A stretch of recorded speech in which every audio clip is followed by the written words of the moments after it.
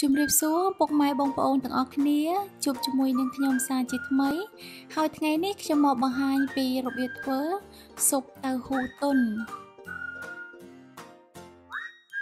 ជាដំបូងយកផ្សិតក្រៀមទៅត្រាំជាមួយនឹងទឹកក្តៅឲ្យបានរីកសិន ហើយសម្រាប់ផ្សិតក្រៀមនេះខ្ញុំប្រើចំនួន50ក្រាមបន្ទាប់មកគោះពងមាន់ចំនួន2ដោយក្រឡុកចូលគ្នាឲ្យបានសព្វរួចទុកមួយឡែកសិន ហើយនេះជាតៅហ៊ូទុនដែលខ្ញុំប្រើចំនួនមួយដុំរួចកាត់តៅហ៊ូនេះជាតូចតូចសម្រាប់តៅហ៊ូទុនបើសិនជាពុកម៉ែបងប្អូនចង់ដាក់ច្រើនជាងនេះក៏បានតិចជាងនេះក៏បានតាមចំណង់ចំណូលចិត្តពុកម៉ែបងប្អូនហូបបន្ទាប់មកហាន់ជីវ៉ាន់ស៊ុយប្រវាយមួយចង្អុលដៃរួចទុកមួយឡែកសិនក្រោយពីផ្សិតបានរីកហើយស្រង់ចេញរួចយកផ្សិតទៅលាងជាមួយនឹងទឹកឲ្យបានស្អាតសិន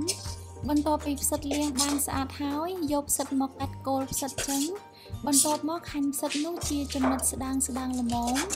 សម្រាប់ផ្សិតពុកម៉ែបងប្អូនអាចដាក់បន្ថយជាងនេះក៏បាន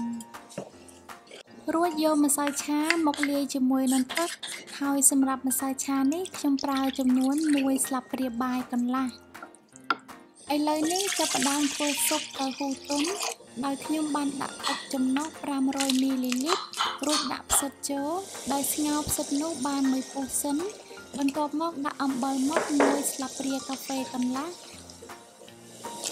ក្រោយមកចាក់ម្សៅឆាចូលរួចកូរចូលគ្នាឲ្យបានសព្វសិន បន្ទាប់មកដាក់តៅហ៊ូចូលរួចកូរចូលគ្នាឲ្យសព្វក្រោយមកកូរទឹកស៊ុបឲ្យបានវិលបែបនេះរហូត បន្ទាប់មកចាក់ពងមាន់ចូលម្ដងបន្តិចម្ដងបន្តិចរហូតដល់អស់ពងមាន់សម្រាប់ស៊ុបមួយនេះពុកម៉ែបងប្អូនអាចដាក់ជាមួយនឹងម្សៅស៊ុបទៀតក៏បាន កាន់តែមានរសជាតិឆ្ងាញ់ជាចុងក្រោយដាក់ជីវ៉ាន់ស៊ុយចូលរួចកូរជាមួយគ្នាឲ្យសព្វរួចជាការស្រេចនៅពេលនេះស៊ុបតៅហ៊ូទុនបានរួចរាល់ សូមអរគុណពុកម៉ែបងប្អូនទាំងអស់គ្នា ដែលបានចំណាយពេលចូលទស្សនាវីដេអូរបស់ខ្ញុំតាំងពីដើមរហូតដល់ចប់ខ្ញុំសង្ឃឹមថាពុកម៉ែបងប្អូនចូលចិត្តវីដេអូមួយនេះសូមពុកម៉ែបងប្អូនជួយ like និង share ឲ្យបានច្រើនផង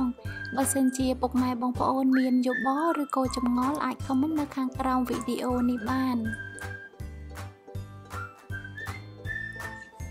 សូមជម្រាបលាពុកម៉ែបងប្អូនជួបជាមួយនឹងខ្ញុំនៅវីដេអូក្រោយៗទៀត